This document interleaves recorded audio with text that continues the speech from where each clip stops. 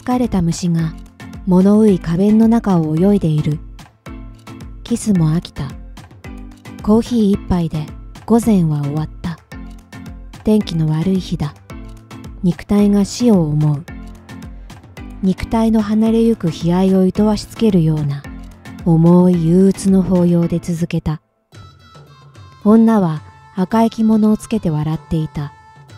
古びたクッションの上で。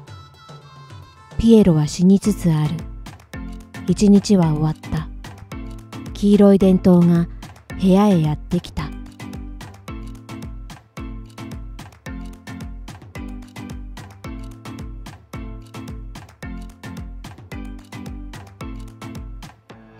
踏切板のバラの花が役所通いの洋服の胸のボタンにキスされた。鋭いナイフとピストルが飛び出して自転車が走ってきて放り出された。帽子を踏み壊しながら夏の少女が辺り一面飛んだ。人間が一度に二匹死んで一匹は檻に入れられた。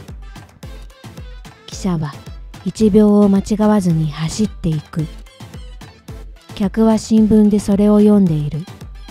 隣のバラを眺めつつ、記者は一秒を間違わずに走ってゆく。